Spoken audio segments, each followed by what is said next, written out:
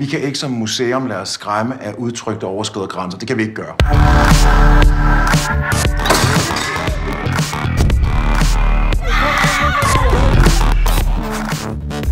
How often would you say that you take women that you don't know very well and have sex with them? You know their names? Yeah. So what's my name?